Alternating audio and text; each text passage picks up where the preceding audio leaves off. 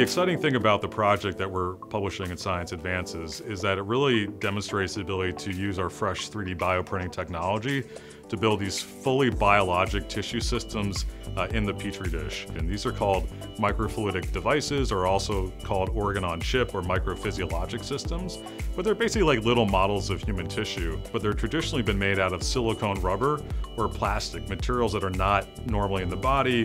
What we can do is make them entirely out of collagen, the major protein of the human body, with all the same structural resolution and fidelity, but now it's fully biologic, which means cells stick to it better, they can remodel it, and it really starts to blur the line between what is a, a benchtop in vitro system that we might use to study disease versus something that we might build as an engineered tissue to implant in vivo as a therapy and really allow us to interrogate kind of the entire spectrum. The fresh bioprinting technology that we've developed and, and refined over the years now has the quality that we can do this and really create little fluidic channels down to about 100 micron diameter for blood flow. We can recreate this complex architecture, and that really allows us to build tissues that mimic different organ types and really different disease types as well. And that allows us to study a lot of different disease mechanism.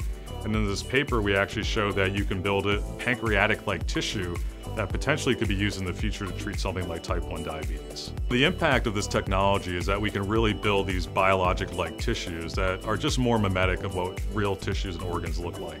Obviously that's important for studying how diseases work, and we're definitely using the platform for that. But the other side is that we can actually build tissues that start out as something small in the petri dish, but kind of mature or evolve over time into something that we could ultimately implant. And you know what we have today is just an amazing platform for building more complex vascularized tissues. Going forward, the question is not can we build it, it's actually more of what do we build? Because while we know what the final tissue would want to look like, it's really what's in our own body. It's a little different in terms of what we actually have the printing system create, because we need it to kind of adapt or mature into the final tissue design. And so the work we're doing today is really taking this advanced fabrication capability so that we can hopefully better understand what do we need to print so that it'll ultimately form the tissue that we want either to better mimic the disease of interest or ultimately to have the right function so when we implant it, say, in the body as a therapy, it'll do exactly what we want. These are complex projects that we're, we're working on and really pull in multiple expertise from biology and engineering and material science and, and, and computer science and, and, stem cell biology and so on. I've been fortunate to have a remarkable team here at Carnegie Mellon to develop this technology. I think important for everyone to understand the, the, the importance of team-based science um, in, in, developing these technologies and, and the value that these teams bring both to the project but how they move forward in life.